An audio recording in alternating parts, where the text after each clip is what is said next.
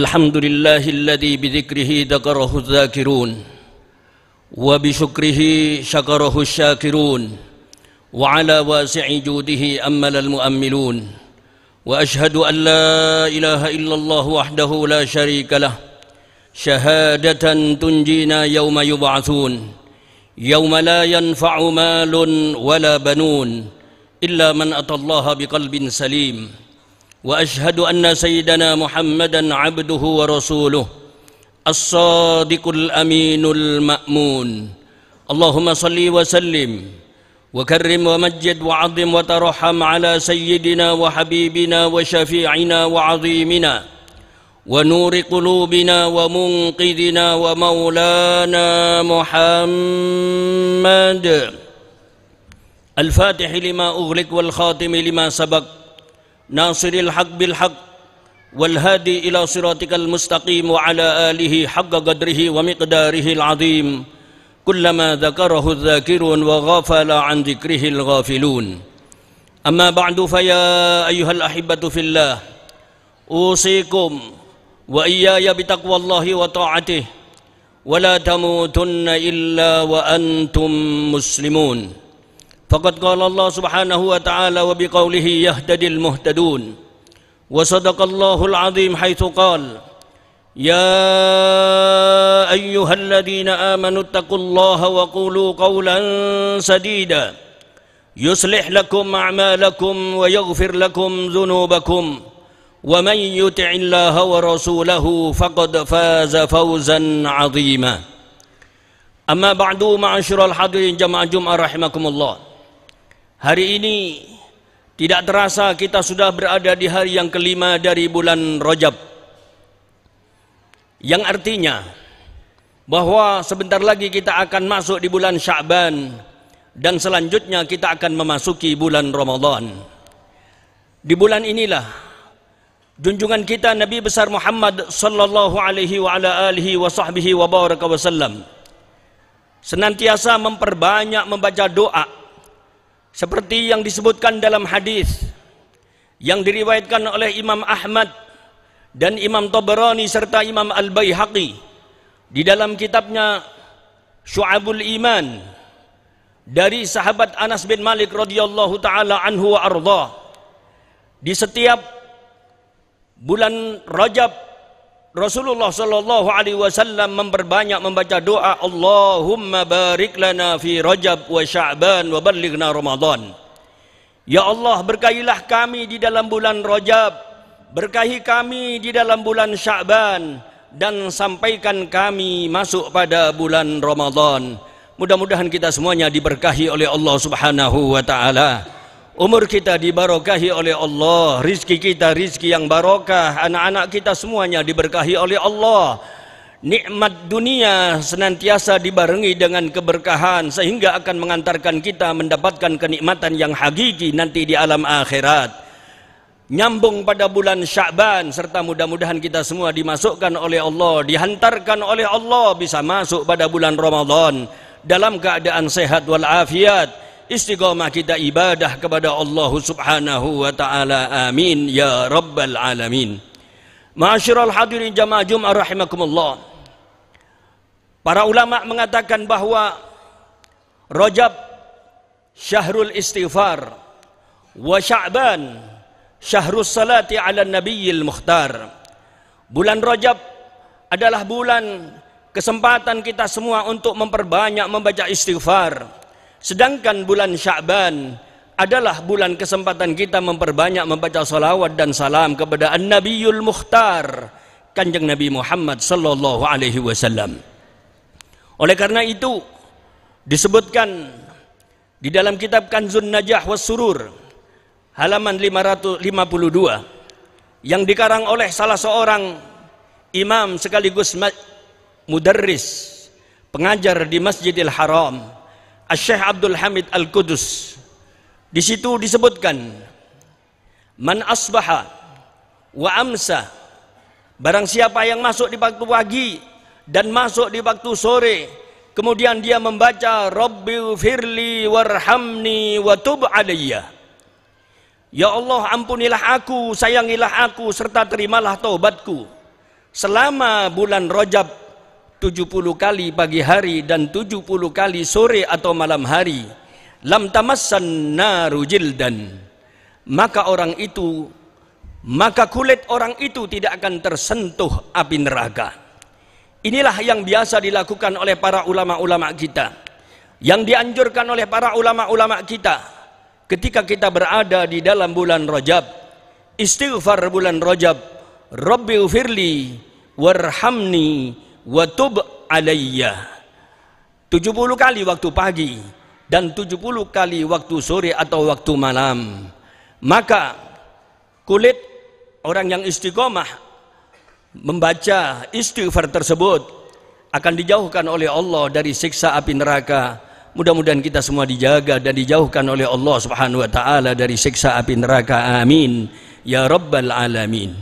Masyurul hadirin jamaah Jum'ah rahimakumullah Judul yang diberikan oleh takmir kepada kami adalah perbaikan moral adalah merupakan tugas utama junjungan kita Nabi besar Muhammad sallallahu alaihi wa ala alihi wa sahbihi wa baraka wasallam. Ma'asyiral hadirin jamaah Jumat rahimakumullah.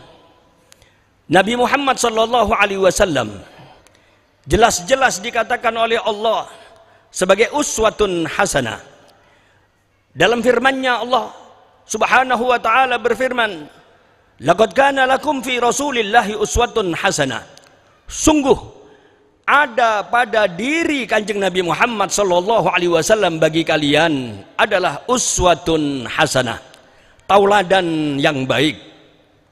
Rasulullah sallallahu alaihi wasallam mendapatkan satu kedudukan kemuliaan di sisi Allah Subhanahu wa taala sampai-sampai Allah Subhanahu wa taala memuji Kanjeng Nabi sebelum Allah menciptakan langit dan bumi. Bukan karena ketampanan beliau walaupun Nabi Muhammad lebih tampan daripada Nabi Yusuf. Laqad u'tiya Yusuf syatral jamal wa u'titul jamal kullah. Sungguh Nabi Yusuf diberikan separuh daripada ketampanan sedangkan aku diberikan kesempurnaan di dalam ketampananku. Bukan karena kekuatannya kanjeng Nabi Muhammad dipuji oleh Allah. Laqad u'titu quwwata arba'ina rajulan min ahlil jannah. Sungguh aku diberikan kekuatan 40 orang dari ahli surga. Di mana satu orang ahli surga kekuatannya melebihi 100 orang yang ada di dunia Nabi Muhammad mempunyai kekuatan 40 orang ahli surga. Tapi bukan karena kekuatan itu Allah Subhanahu wa taala memuji Kanjeng Nabi Muhammad sallallahu alaihi wasallam. Akan tetapi Allah Subhanahu wa taala memuji Kanjeng Nabi Muhammad sallallahu alaihi wasallam adalah karena akhlak beliau yang luar biasa. Allah Subhanahu wa taala berfirman, "Wa innaka la'ala khuluqin 'adzim." Dan sesungguhnya engkau wahai Kanjeng Nabi adalah di atas akhlak yang paling mulia. Sebelum Allah menciptakan langit dan bumi, Allah sudah memuji akhlaknya kanjeng Nabi Muhammad sallallahu alaihi wa ala alihi wa sahbihi wa baraka wasallam. Oleh karena itu, beliau sallallahu alaihi wasallam bersabda seperti dalam satu hadis yang diriwayatkan oleh Imam Al-Bazzar dari sahabat Abu Hurairah radhiyallahu anhu wa ardha innama bu'istu liutammima makarimal akhlak hanya saja aku diutus oleh Allah Subhanahu wa taala untuk menyempurnakan akhlak. Akhlak yang baik. Inilah tugas diutusnya Kanjeng Nabi Muhammad sallallahu alaihi wasallam. Oleh karena itu kita sebagai manusia kita sebagai umat Kanjeng Nabi Muhammad sallallahu alaihi wasallam pun terangkat mulia di sisi Allah Subhanahu wa taala. Sebagaimana difirmankan oleh Allah, "Kuntum khaira ummatin ukhrijat linnas." Sesungguhnya kalian adalah orang-orang yang mulia, sebaik-baik umat yang dimunculkan di tengah-tengah manusia. Bukan karena ibadah kita, tetapi karena kita mempunyai nabi panutan seluruh makhluk Allah di permukaan bumi ini yaitu junjungan kita Nabi besar Muhammad sallallahu alaihi wa ala alihi wa sahbihi wa baraka wasallam. Seorang ulama besar yang bernama Asy-Syaikh Abdul Hasan An-Nadawi dari Lucknow, India. Beliau mengarang kitab yang berjudul Ilal Islam min Jadid menuju ke kepada peradaban Islam yang baru. Di situ beliau mengawali mukaddimah kitabnya dengan mengatakan bahwa akhir-akhir ini banyak orang-orang yang sibuk dan menyibukkan diri mereka dengan adanya berbagai macam krisis. Krisis ekonomi, krisis politik, krisis kepemimpinan dan krisis-krisis yang lain. Beliau mengatakan semua itu tidak ada karena semuanya kembali kepada dua saja yaitu krisis akidah dan krisis akhlak. Karena krisis akidah dan akhlak itulah melebar akan lahir krisis-krisis yang lain. Lebih-lebih krisis ketika kita mendidik anak-anak kita. Apa yang dikatakan oleh para ulama-ulama kita? Mata yatimul bunyanu yauman tamamahu idza kunta tabnihi wa ghairuka yahdimu. Kapan bangunan ini bisa tegak berdiri apabila satu orang membangun dan yang lainnya menghancurkan? Fa'alfu banin khalfahu hadimun wahidun kafa. Fakaifa bibanin wahidin khalfahu alfu hadimi. Seribu orang akan membangun dan satu orang yang akan menghancurkan bangunan itu, maka bangunan tidak akan bisa tegak berdiri. Apalagi saat ini yang ada di tengah-tengah kita, satu orang yang membangun sedangkan seribu orang yang akan menghancurkan bangunan tersebut. Satu dua orang yang akan membenarkan, yang akan mencontohkan, yang akan membimbing, yang akan mendidik anak-anak kita. Sementara seribu lebih yang akan menghancurkan anak-anak kita. Yang akan menghancurkan akhlak dan moral anak-anak kita. Jika anak-anak kita tidak kita dekatkan kepada pendidikan-pendidikan moral dan akhlaknya kanjeng Nabi Muhammad sallallahu alaihi wa ala alihi wa sahbihi wa baraka wasallam. Oleh karena itu, di samping wajib kita menyelamatkan anak-anak kita dari hal-hal yang akan mengeroposkan akhlak serta moral-moral mereka, maka sebagai orang tua tidak kalah pentingnya untuk mengawal anak-anak kita dengan memperbanyak berdoa untuk mereka lebih-lebih kalau doa itu datangnya dari seorang tua. Rasulullah Shallallahu Alaihi Wasallam bersabda, ul walid li waladihi kadu'ain nabiyyi li ummatih.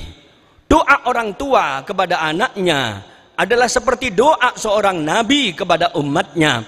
Artinya, doa-doa orang tua untuk anak-anaknya pasti dan pasti akan langsung dikabulkan oleh Allah Subhanahu wa taala. Selanjutnya, Nabi Ibrahim memberikan bimbingan ketika kita mendoakan anak-anak kita dengan doa yang sangat ringkas tapi padat. Doa tersebut adalah Rabbi habli minas salihin. Ya Allah, karuniakan kepada aku anak-anak yang soleh. Doanya ringkas. Tapi ketika anak-anak kita menjadi anak-anak yang soleh, maka bisa dipastikan anak-anak kita akan membahagiakan orang tuanya di dunia lebih-lebih nanti di alam akhirat. Oleh karena itu ma'asyiral hadirin jamaah Jum'ah rahimakumullah para ulama mengatakan khalif auladaka al-adab wa illam tukhallifiz zahab wariskanlah untuk anak-anak kalian akhlak yang baik walaupun kalian tidak mewariskan emas dan permata. Menguatkan apa yang disabdakan oleh kanjeng Nabi Muhammad sallallahu alaihi wasallam ma nahala walidun waladan afdala min adabin hasan tidak ada pemberian orang tua kepada anaknya yang melebihi daripada pendidikan akhlak yang baik mudah-mudahan di bulan Rajab ini kita semuanya senantiasa diberkahi oleh Allah Subhanahu wa taala umur kita diberkahi oleh Allah di bulan yang penuh dengan istighfar, anjuran perbanyak membaca istighfar. Mudah-mudahan orang tua kita semua diampuni oleh Allah Subhanahu wa taala. Orang tua-orang tua kita yang masih hidup mudah-mudahan diberikan sehat walafiat panjang umur. Orang tua-orang tua kita yang sudah meninggal dunia mudah-mudahan Allah berikan kasih sayang dan pengampunannya. Serta Allah jadikan makam-makam beliau adalah raudhah min riyadil jinan, taman dari taman surga. Mudah-mudahan keberkahan bulan Rajab disampaikan oleh Allah kepada anak-anak kita sehingga anak-anak kita menjadi anak-anak yang barokah dan keberkahan itu akan melahirkan anak-anak yang soleh dan solihah. Mudah-mudahan anak-anak kita dijadikan anak-anak yang soleh solihah yang akan membahagiakan orang tuanya dunia lebih-lebih nanti di alam akhirat. Umur kita dibarokahi oleh Allah, rizki kita rizki yang barokah. Dan mudah-mudahan kita semuanya senantiasa diberikan sehat walafiat. Istiqomah kita ibadah kepada Allah Subhanahu wa taala. Selamat dunia selamat akhirat hajat-hajat kita dimudahkan oleh Allah Subhanahu wa taala. Hajat dunia bil maisarah wa hajat al akhirah bil maghfirah hajat dunia dengan kemudahan-kemudahan hajat akhirat dengan pengampunan Allah Subhanahu wa taala.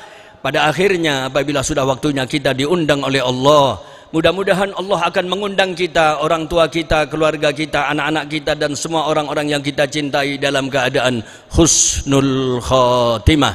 Ya Allah biha, ya Allah biha, ya Allah bi husnil khatimah.